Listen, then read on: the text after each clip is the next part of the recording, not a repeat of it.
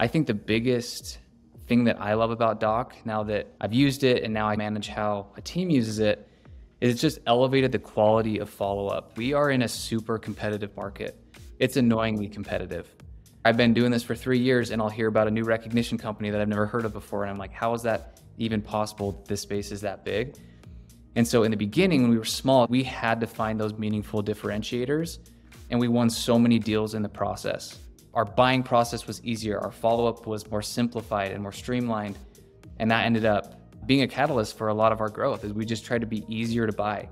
And so Dock kind of became this vehicle where our competitors were sending just these snippets. They're like, here's your price quote in the email. And we were sending these curated documents that had our G2 reviews in it and it had these really nice pictures, right? We had headshots done for everybody, so it was cohesive. We were sending all these additional tools. And the follow up was just, it was streamlined.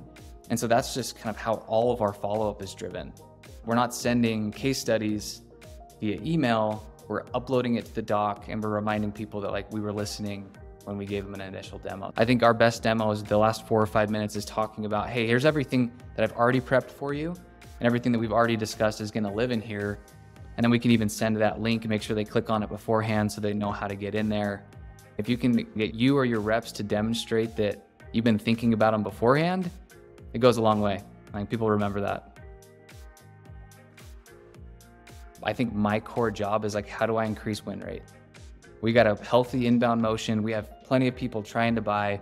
How are we moving that from 25 to 30%? And the implications for the business are huge for those small incremental things. And so when I'm meeting with reps, it's like you should be adding stuff to your dock every three days. I want them going back and listening to the call and yeah, making it feel white glove.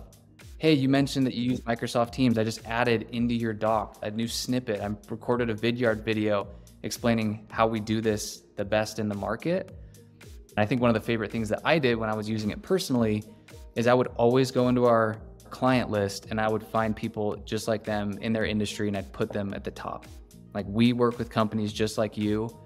And instead of a really generic website, we work with XYZ company that you've never heard of. It was like, no, we work with lawyers and we work with manufacturing groups and we work with baseball teams. You make it really specific and people noticed.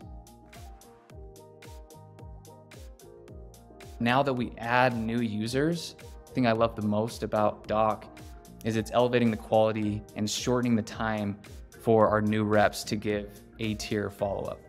Part of scaling is now that we have this database of docs, and now that we have 10 different reps that are creating them and innovating within dock, the first follow up that a new reps give is in the same tier as someone that's been here for two years using dock every single day because they're copying that template.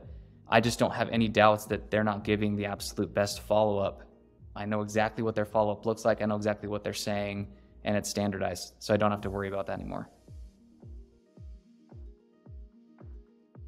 Pipeline management is a huge part of my job in forecasting.